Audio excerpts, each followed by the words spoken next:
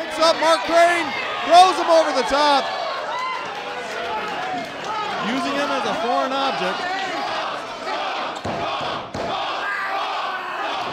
Oh, oh, Short oh, oh, oh, oh, jeez. Right on the ear.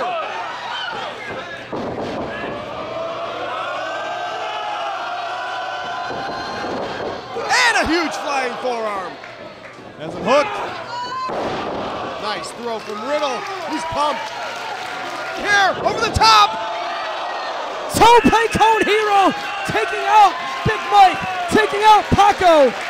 Vincent all fired up, but he's got to keep his eye on the ring because Desmond Xavier's in there and he's a daredevil. Here comes Xavier! Sweet Jeebus! Lands on his feet! Sweet Jeebus!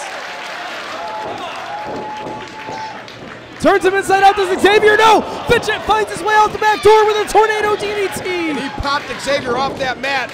He's got him right where he wants him. Desmond Xavier! Catches The him back with of that. No way. No way. German suplex. That might have been a rookie mistake there. I agree. for the cover I 100% agree, Phil Coleman. It's easy for me to say that from my vantage point here at the commentation station. I'm not in there in the heat of the moment. I can't tell you what Desmond Xavier was thinking. Oh, both men. Both men on top, and here comes Elgin. They're trying to fight him off. Alley-oop! Drop kicks! Alley-oop drop kick from Paco. Great presence of mind in midair. Oh, And Paco oh. cut, gets caught with that back fist oh my. by Big Mike. Oh my. A little bit of stank on it. Oh God. Paco in trouble. Paco hoisted.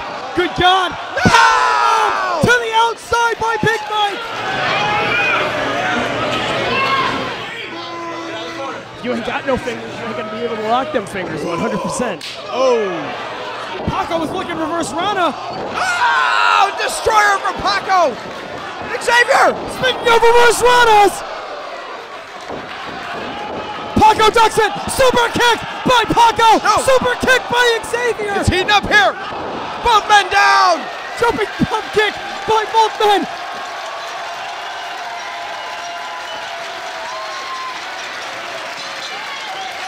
Listen to this crowd.